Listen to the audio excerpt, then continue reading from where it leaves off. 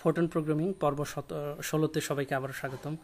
আজকে যে বিষয়টি নিয়ে কথা বলব সেটা হচ্ছে ধারার যোগফল। এখানে ভগ্নাংশ টাইপের যে ধারাগুলো রয়েছে, অর্থাৎ রিয়াল ভ্যালু দেয়, এরকম যে ধারাগুলো রয়েছে, সেই ধারাগুলোর একটি আরেকটি নতুন এক ধরনের টাইপ সেটা নিয়ে কথা বলব।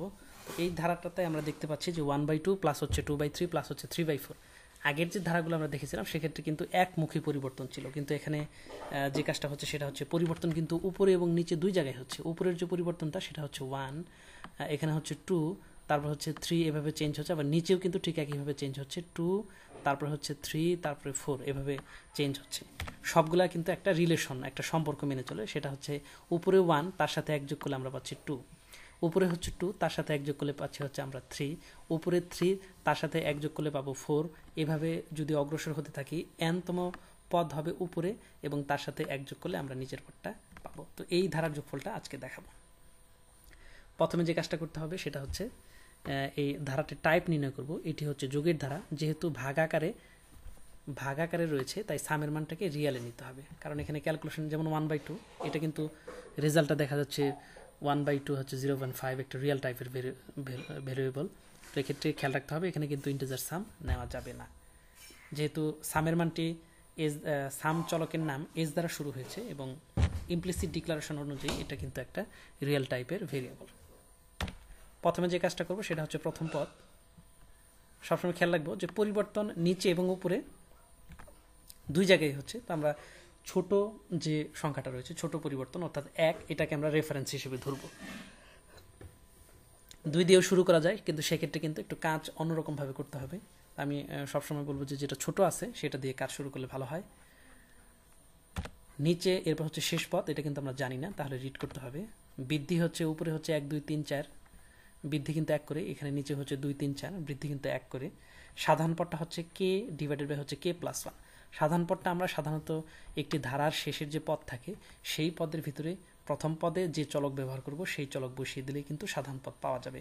যদি কে এর পরিবর্তে আমরা ওয়ান বসাই, তাহলে one divided by one plus one সমান হচ্ছে ওয়ান বাই টু তার মানে ফার্স্ট টার্ম ঠিক একইভাবে কে এর পরিবর্তে যদি টু বসাই টু বসালে হবে two by two plus one সমান হচ্ছে two by three second term এভাবে পর্যায়ক্রমে আমরা পদগুলো পাবো।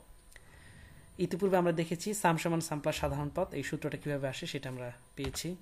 এই ধারাটি যেহেতু একটি বাস্তব সংখ্যার ধারা এবং বাস্তব সংখ্যার ধারার ক্ষেত্রে যে চলকগুলি রয়েছে সেই চলকগুলোকে কিন্তু টাইপ কাস্টিং করতে হবে। এখানে টাইপ কাস্টিং আমরা করব। প্রথমে হচ্ছে কে। কে হচ্ছে একটা ইন্টেজার টাইপের চলক। তো এটাকে লিখেছি হচ্ছে ফ্লোট কে, অর্থাৎ রিয়েল টাইপের ভেরিয়েবলে আমরা রূপান্তর করে নিলাম। এবং ভিতরে রয়েছে হচ্ছে কে প্লাস ওয়ান তো এই কে প্লাস ওয়ান টোটাল রাশিটাকে আমরা ফ্লোটে কনভার্ট করে নিলাম। কনভার্ট করে নিলে এরপর আমরা যথারীতি যে নিয়ম রয়েছে সেই নিয়ম অনুযায়ী সামের মান বের করতে পারব। এখন আমরা প্রোগ্রামটা লেখা দেখি। এটা হচ্ছে আমাদের সিরিজ, তো এটার যোগফল আমরা বের করব।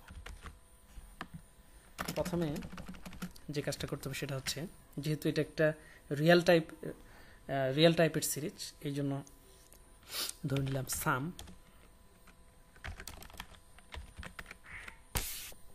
সাম সমান জিরো পয়েন্ট জিরো শেষ পদ এন, অজানা। এই জন্য এটা আমরা অজানা রাশি রিড করতে হবে।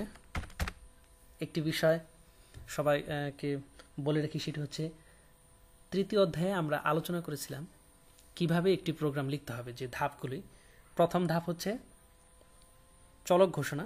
নেক্সটের পরবর্তী যে ধাপ সেটা হচ্ছে আদিমান প্রদান এবং তৃতীয় ধাপে গাণিতিক ক্যালকুলেশন চতুর্থ ধাপে ফলাফল প্রদর্শন। এই ক্রমগুলো খেয়াল রেখে প্রোগ্রামটি লিখতে হবে রেজিস্টার সাম এন, এখন লুপ ব্যবহার করে আমরা যোগফলটা করব। প্রথমে ডু লুপ বলছি ডু লুপের ভেতরে প্রথমে যে কাজটা করতে হবে প্রথম পদ, এরপরে হচ্ছে শেষ পদ, তারপর হচ্ছে বৃদ্ধি লিখতে হবে এভাবে।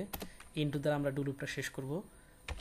সাম সমান হবে সাম প্লাস ফর্মুলাটা ব্যবহার করি। তো এখানে যে সিরিজটা আমরা পেয়েছিলাম, সিরিজটা কিন্তু উপরে হচ্ছে এন আর নিচে কিন্তু এন প্লাস ওয়ান অর্থাৎ উপরে থ্রি থাকলে নিচে ফোর উপরে টু থাকলে নিচে হচ্ছে থ্রি তো এটাকে যে ফর্মুলাটা আমরা রূপান্তর করেছি ফোর্টন ফর্মুলায়, এই ফর্মুলাটা কিন্তু ব্যবহার করতে হবে সাম সমান sum plus four float K divided by হচ্ছে ফ্লোট কে প্লাস হচ্ছে ওয়ান ফ্লোটের পরিবর্তে আমরা চাইলে রিয়ালও ব্যবহার করতে পারি।